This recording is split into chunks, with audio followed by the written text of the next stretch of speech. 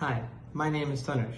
I'm excited to share that this fall I will be pursuing my undergraduate studies in computer science at the University of Massachusetts Amherst in the USA.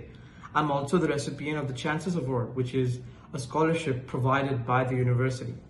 I thank Team Clevered and most importantly, my mentors with whose support and guidance have, have helped me develop such unwavering confidence. I've been part of the three-month AI internship program with I solved a real-life problem using hands-on AI skills. The internship experience along with a letter of recommendation that I received from a University of Oxford's senior researcher helped me build an unbeatable student profile.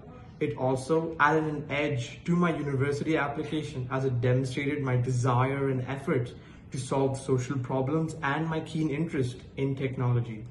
I would like all prospective undergraduate applicants to know that if you are aspiring to build an amazing and a strong, diverse profile and wish to make it your dream university, you can enroll at Clevered's AI internship program.